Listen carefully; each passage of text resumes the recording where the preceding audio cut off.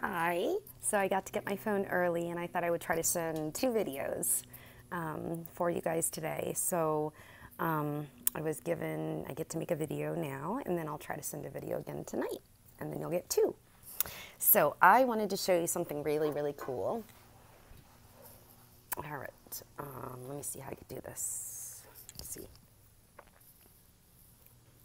Isn't that really cool? So it's like two hearts. It's uh, two hearts at the top and two hearts at the bottom. And I wanted to share that with you.